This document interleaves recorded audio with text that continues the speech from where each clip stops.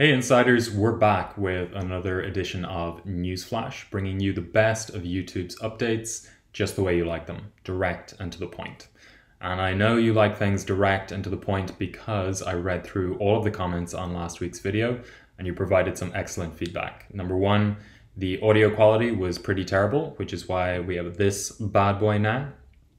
The echo was pretty annoying and you all had to turn up your volumes. Um, so you can't see it now, but there's not a lot of sound insulation around me. So that's going to inform the way Newsflash is going forward. So let's get into it.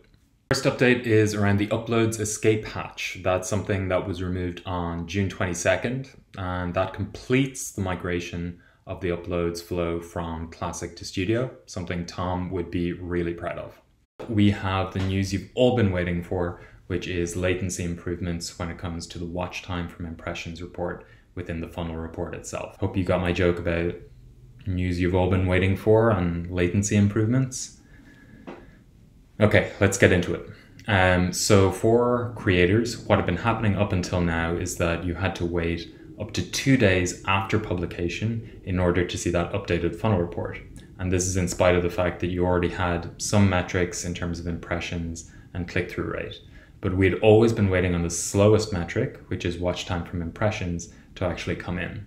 With this change, we hope creators will see the information up to date after about a day um, rather than the full two. And this should also resolve some inconsistencies that you might see within the Reach tab in Channel Analytics. Next up, we have some alerts for merch purchases in live chat. That's right, this is a new launch couple of news flashes ago, we introduced this as a mini sneak peek to the Creator Insider Nation, but now we're going for full launch. So what this means is that for creators who use, you know, Teespring and live streaming on YouTube, what you will see, same as everybody else, is an alert pop up when anybody purchases some of your merch. So what we hope is this will increase some of the buzz around your merch as well as your content all good things for creators, and you don't have to do a thing. And next up, we're bringing back the other Connor with two N's uh, to give us some insights from Unlisted Video Review. Now, Jenny sat down with Tom a couple of weeks ago to go through exactly what Unlisted Video Review is. So if you need more context, take a scan back and watch that video again. But every couple of weeks, Connor's going to be coming back and giving us some insights uh, about the learnings that the policy team are taking away. Hey, everybody. This week's insight is around the topic of violence and shocking content. So, starting at a high level, violent or gory content that is intended to shock or disgust viewers um, and content that encourages others to commit violent acts uh, are not allowed on YouTube. Content including violence that has clear educational, documentary, scientific, or artistic intent and context, such as a news broadcast about a violent event, is generally allowable on YouTube, um, but may not be appropriate for all audiences. We treat dramatized violence, such as a fight scene in an action movie or the use of weapons in a video game, slightly differently than we would quote unquote real world violence. So, for example, violence that occurs in standard video gameplay um, would be suitable for monetization, so long as it does not contain graphic scenes. Um, some examples of that might be people being dismembered uh, or, or decapitated, uh, human corpses with severe injuries, that sort of thing.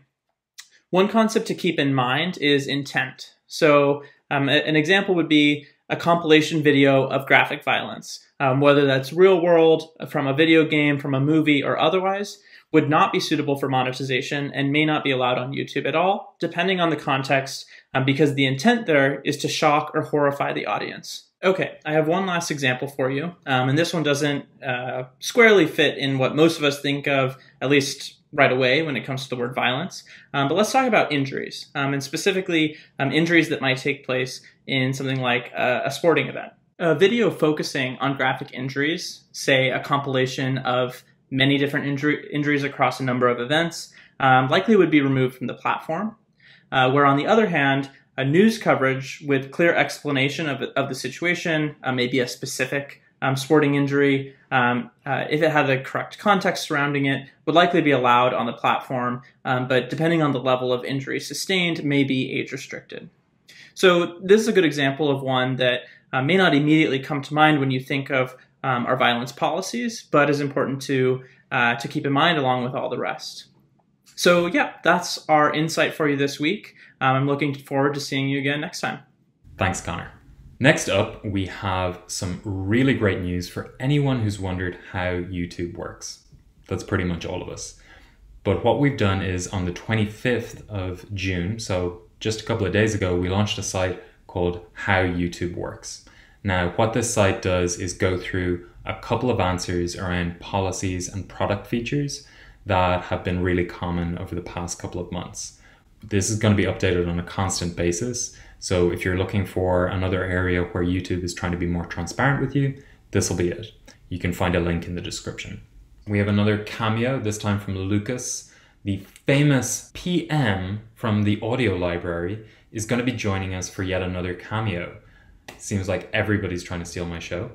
Um, he's going to be walking us through some updates with regard to the audio library in studio. Take it away, Lucas. Get your get your Creator Insider swag, everyone. Hey, uh, this is Lucas. I'm here to talk about our audio library. Uh, for those of you who don't know, this is a resource we've had in Classic Studio for quite some time. There's thousands of free copyright safe songs for you to use in your video in there. They're all set up with our content ID system so that if you use them, you can be sure you're not going to get copyright claims and everything is monetization safe if you're eligible to monetize your videos. We are getting ready to launch the new version of this in the new Creator Studio. Uh, we started with a little experimental release a few weeks ago, and we got some great feedback from you guys when we did that. So we made some tweaks, and now we're getting ready to start rolling it out fully. So I wanted to give you a little tour of what's in there and what you'll be able to do. Uh, so first off, we made it a lot easier to find. It's right here in the left nav bar of uh, your channel in Studio.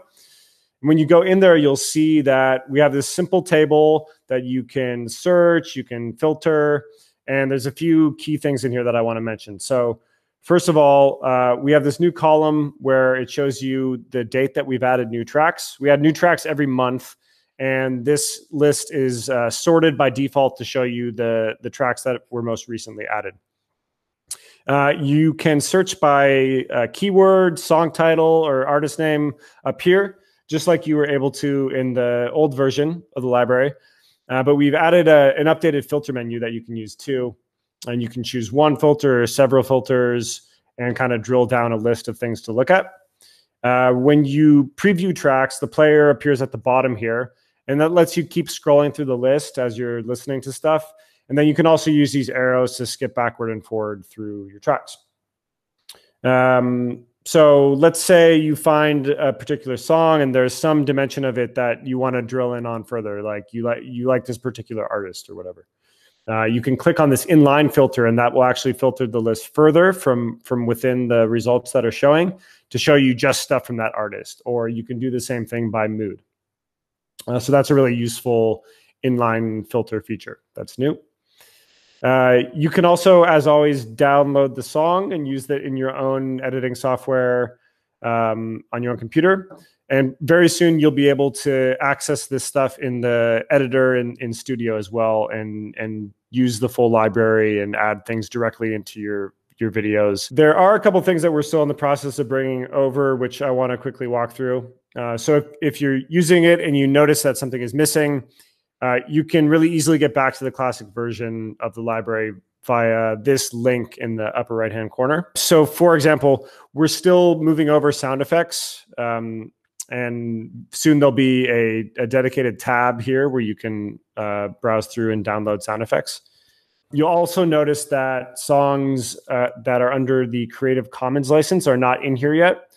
Uh, these include songs from some popular audio library artists like Kevin MacLeod, uh, they'll be added soon here as well, and we're going to have some improvements that make it easier to use them under the Creative Commons terms, and we'll say more about that when when that happens. So we really hope you enjoy using the audio library for your, for your videos. It's a really great, safe, free option for finding music. Please do send us your feedback. Uh, there's an in product tool that you can use to submit. Uh, your comments and questions and ideas to us. We really do look at this stuff to uh, inform our plans. So let us know what you like, what you don't like, any ideas you have about what we should do in the future. All right, that's it for now. Thanks. That's it. We are done with another week of the news flash.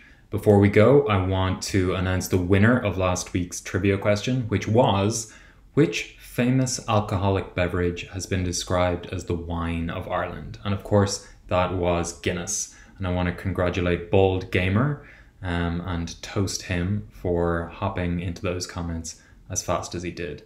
So, next week's trivia question is which video on the platform reached 1 million views first? So, if you can jump in with a general idea of what the concept was, who the publisher was, or ideally a link uh, to the video itself, we will announce the winner. For my part, thanks so much for all of the really productive feedback um, in the comments from last week. Keep on providing it um, and we'll keep on making improvements such as this nifty mic. Thanks so much.